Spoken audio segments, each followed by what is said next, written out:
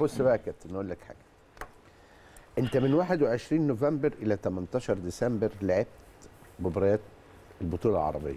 أيوه قبليها المنتخب اتاخد بأسبوع فأنت بتدي كمان ست أيام أو سبعة أيام تبقى أنت هيبقى يوم 15 نوفمبر. أيوه نفس اللعيبة دي وصلت وراحت لعبت في كأس الأمم الأفريقية من 9 يناير إلى 6 فبراير ولعبوا إلى ال final.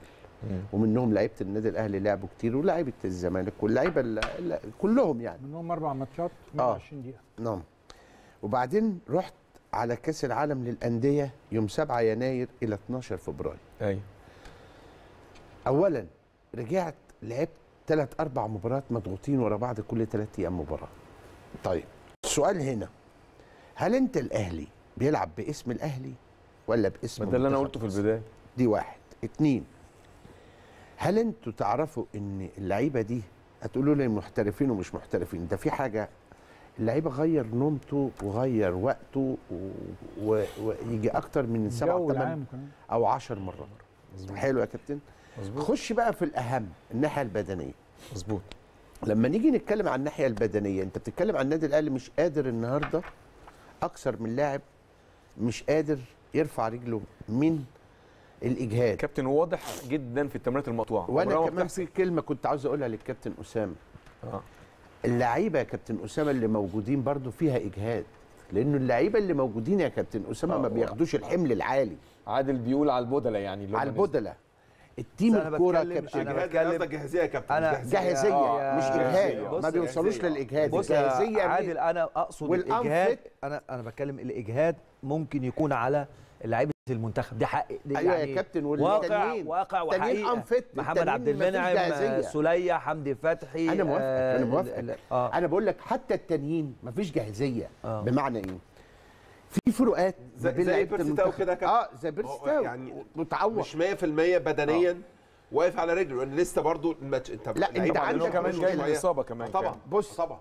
أنا مش ببرر لا إن طبعا. النادي الأهلي اولا أحسن حاجة في كرة القدم للأندية الكبيرة إنك لما بتكون مش كويس بتكسب. بتكسب. مظبوط. أهو دي دي المبروك لينا النهارده. صح. لكن أنت ما كنتش كويس علشان أنت تكتيكيا مش كويس آه الحاجة التانية مش علشان انت لعيبتك مش كويسة لا، لا, بدنياً. انت مجهد طبعاً. انت يعني انت في في مشكلة كبيرة في النادي الأهلي لازم يخلي باله لأنه أنا مش طبيعي إنك أنت ما تقفش جنب فرقة بتشرفك في العالم بمعنى لما بيكون عندي حاجة حلوة أنا بحافظ لا عليها. المعنى واضح يا كابتن عادل بس الظاهر في ناس تانية ما بتفهمش. يا كابتن أنا حاجة عندي حاجة حلوة في بلدنا هنا يعني مثلا محمد صلاح. أيوه. كلنا بنحبه وكلنا محمد صلاح بنفرح بيه. الراجل ريحه الماتش بيشرفني. اللي فات. لأنه لا لأنه بيشرفني. كاس يا كابتن بص يا ريحه أيوه. خليني بس أكمل. خليني أكمل. اتفضل يا كابتن. لأني محمد صلاح بيفرحنا. أيوه. وبيفرح مصر وبي وبي- كويسه لمصر دعاية كويسة في الخارج. في العالم. مين اللي بيعمل لك دعاية كويسة للنادي الأهلي؟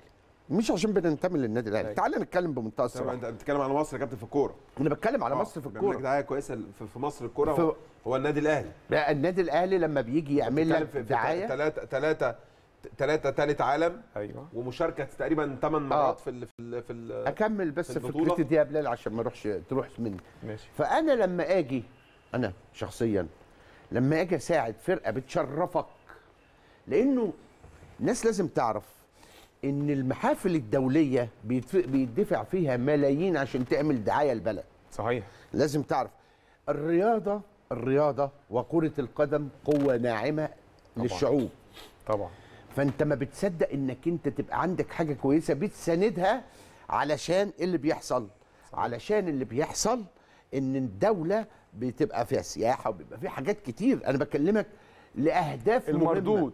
المردود. مظبوط. دي, دي حقيقة. الناس بت... الناس بتبقى فرحانة بأنديتها بره صح. الناس بتساعد أنديتها. تساعدها. عايز أقول لك إنه في فرق بيتأجل لها. أنا ماليش دعوة بأوروبا لأن أوروبا مسافات قريبة عشان الناس بس تبقى فاهمة. أوروبا مسافات قريبة. أيوة. المسافة بتبقى نص ساعة وساعة إلا ربع كأنك رايح اسكندرية وكأنك رايح ساعتين أقصى حاجة ثلاث ساعات أقصى حاجة. ممكن اللي من مش عارف فرنسا لإيطاليا هي الأربع ساعات حاجة كده. لكن أنا بكلمك على إنه لازم الناس تراعي النادي الأهلي في الفترة دي وتراعي نادي الزمالك لما بيلعب أيوة في أفريقيا بقول على كمان. كل الأندية. لازم تراعيه ليه؟ لأنه يا جماعة إحنا كل اللي بنعمله بنعمل منتخب جيد علشان اسم البلد اللي بيلعب ليه المنتخب يرفع اسم ال- البلد. فأنتوا ما تجوش في لحظة انكم تجهدوا فرقة بتلعب لاسم بلدها.